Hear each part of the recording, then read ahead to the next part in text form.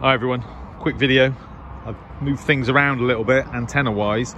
Um, I've now got one of my Wellbrook loops going into the living room so as I can uh, listen to HF uh, and be lazy, sat on the sofa.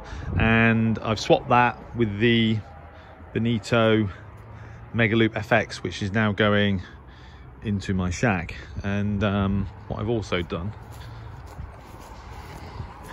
is I've mounted both the antennas in a sort of temporary sense. And I need to buy a shed. So this Wellbrook loop here, which is back on its tripod, um, this is the antenna that is going into the living room. Interesting to see whether it makes much of a difference to performance or not. I don't think it does because I can remember at my old QTH for about two years, I, my Wellbrook loop literally sat on a wood on a, on a, wooden crate basically on the ground and um, when I put it on this tripod and then put it in, in a shed actually what yeah it was this tripod. I, I, don't remember there being much difference to what I could hear. Um, there is a difference between using one of these indoors and outdoors. That's another video actually because I've got two antennas and because I've done the test now and they are basically both the same in terms of noise floor signal to noise etc I could actually place one outside and put one inside and run the same signal on the uh, RSP Duo and you can actually see the difference in performance between having one of these indoors and outdoors. There is a difference. Um, so that antenna is going to be used on its own. And then in terms of comparing the Wellbrook to the Mega Loop, which is here, suspended from the fence for now, vaguely pointing towards North, well not vaguely actually, pointing towards North America, actually pointing down the side of my house actually. So because uh, I have a, a, kind of access side access. Well I've got side access on both sides of the house but uh, you can see. Um, and then so the top of that antenna is roughly the same height as the top of the Wellbrook loop which is next to it which I've basically hung also on the fence. Uh, I know that looks probably horrendous to you um, I've just the way that I've suspended it but this the loop itself is covered in bubble wrap uh, which is how it arrived in the post and I've been using it that way ever since. Uh, no reason to take it off as yet. Um, all the coaxial cables are all sealed with self-amalgamating tape, which does seem to be working because that's one thing that that uh, I've not had an issue with. Uh, same for the uh, Bonito magnetic loop. So basically two antennas, same height, next to each other uh, in the garden. Um, and then please ignore the state of the grass. I'm going to get the lawnmower out later. And then uh, into the shack. Again, ignore the mess. Um, so yeah, so the SDRplay RSP Duo, the perfect radio to compare antennas. And so what I've got here, um, I think this is Radio Free Asia, 15275 kilohertz. Let me just uh, shut the door. Okay. So what you have is on the uh, on the right hand side of the screen, you've got the uh, Megaloop FX. I've just switched off the power supply to confirm that. Uh, on the left hand side, you've got the um, Wellbrook loop.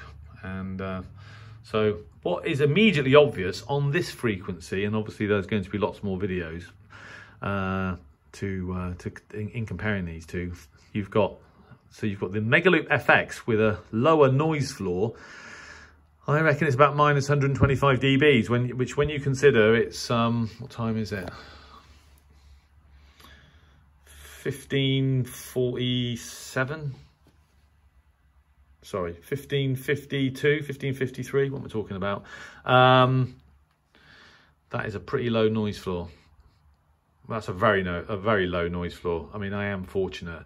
Um, and that, so that's the Mega Loop FX. And then when you compare it to the Wellbrook loop, it's actually spot on minus 120.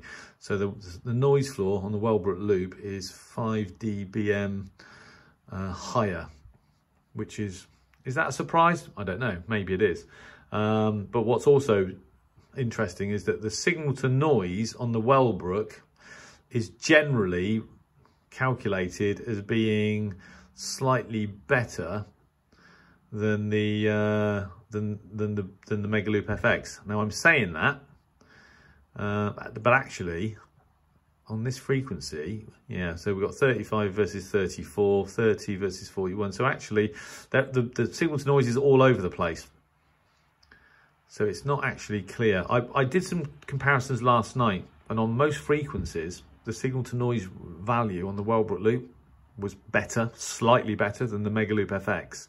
Um, and even though the Megaloop FX seems to have a lower noise floor, when that basically, basically what, I, what I'm trying to say is I, I'm not sure how accurately the uh, signal to noise reading actually is. Obviously, it's a dynamic reading. Um, pretty similar anyway. And in terms of actual signal strength, what that that is clear. You can just see from the bar actually that the signal strength with the Wellbrook is slightly stronger. Right now it's reading about 60 dBs, uh, minus 62, um, minus 66, 67.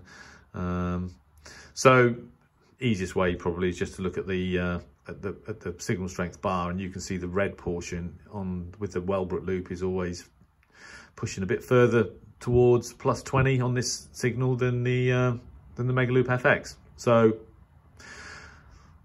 interesting, isn't it? Lower noise floor with the with the Megaloop FX. Um, similar signal to noise. Um, more signal strength with the Wellbrook. And if we actually just look at the audio, so this is the audio on the uh, Megaloop. And this is the audio on the Wellbrook loop. 飞过来，将球拨出了，这就成了著名的世纪扑救。呃，贝利后来自己回忆，顶球那一刻，他觉得球肯定要进。Back to the 他已经准备跳起来庆祝了，但是回头一看，没进啊这个球。他这辈子，他说我这辈子进过一。I'll just switch between them. 跟我讨论最多的却是那个没进的球。呃，这场比赛呢，呃，雅基尔金霍打进了唯一的。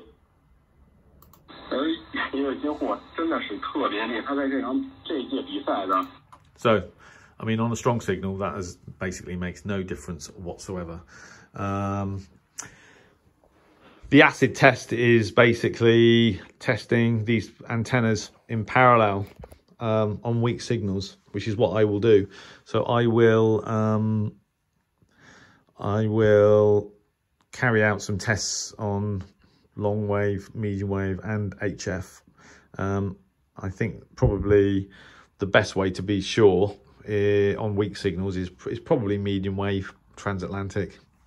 But um, but also, you know, I can I can go for um, Radio Club de Para 60 meters 4885 Radio Difusora uh, Roraima on 4875 uh, CHU 3330 um, um, there's various stations on HF and on long wave, medium wave. So I think that's the best way. Comparing them on a very strong signal like this, which is sort of 10 over S9 is not the best way. But it, it, it but it is a good demonstration in terms of the actual noise um, that is being, uh, oh, the noise floor.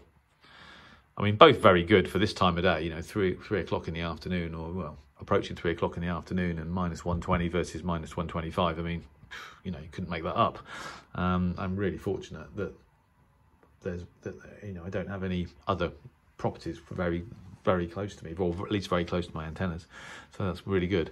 Um, so there you go. So um, interesting, isn't it? It's uh, as is usually the case when you compare radios or antennas, it's not always completely straightforward. You know, these are sort of similar devices manufactured in different countries, but using a sort of similar kind of principle. Uh, you know, it's basically an, an amplified mag loop, and um, yeah, you've got yeah sort of similarities and differences in terms of what these two uh, antennas can do. So um, it'll be interesting to to test them across sort of several bands.